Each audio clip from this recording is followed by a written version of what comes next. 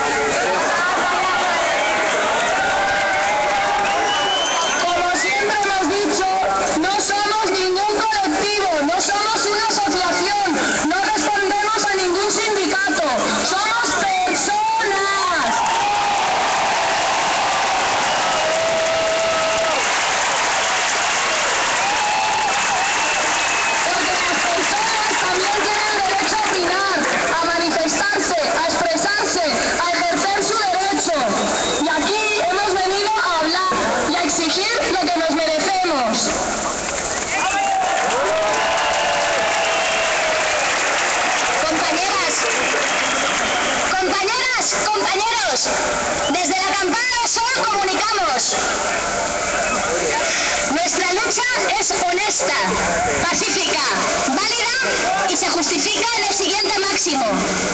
Vivimos en democracia, somos el pueblo y tenemos derecho a expresarnos.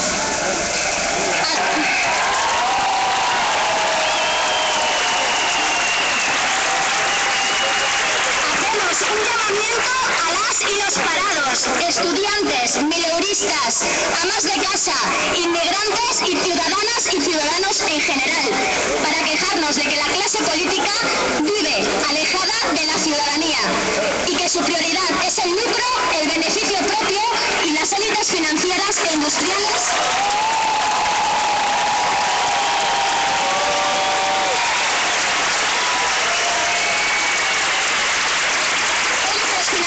E industriales que a través de su poder económico